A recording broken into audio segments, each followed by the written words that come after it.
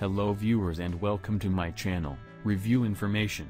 In this video I will show you, how to sync contacts to your Google account, on Samsung Galaxy M11 smartphones. Subscribe to my channel and hit the bell icon to get notified any updates. If you copy contacts to your Google account, you will not lose your contacts, even you lose your phone or your phone is stolen. To begin, go to your contacts. Then tap the three lines in the top left. From the resulting menu, select Manage Contacts. Now go to Sync Contacts. You can sync your contacts to any existing account.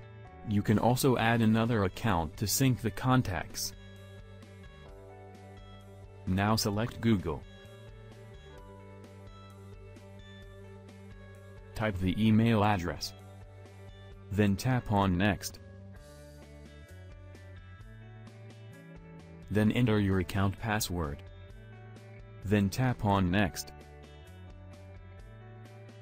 Now tap on the button, I agree.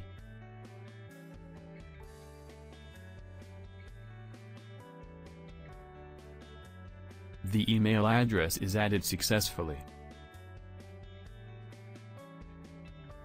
And the contacts has been synced. Now you will find the contacts backup in this email.